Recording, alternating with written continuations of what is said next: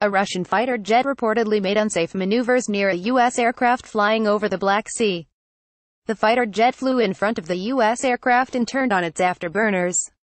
The incident comes amid divisive rhetoric from Russia, in which it likened U.S. service members operating in Syria to occupying forces. A Russian fighter jet reportedly made unsafe maneuvers near a U.S. aircraft flying over the Black Sea, CNN reported Monday.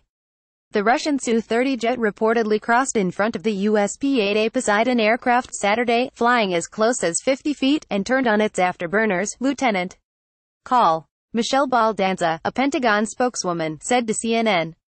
The maneuver left violent turbulence in its wake, forcing the P-8A to deal with a 15-degree roll, according to Baldanza. The incident reportedly lasted 24 minutes.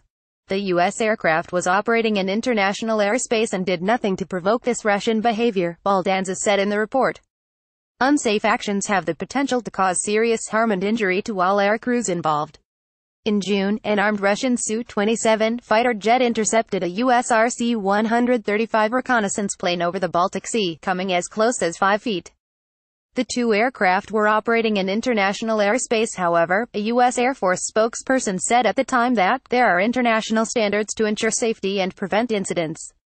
The latest incident comes amid Russia's accusations, made earlier this month, in which they called the US-led coalition force combating Islamic State militants in Syria occupying forces.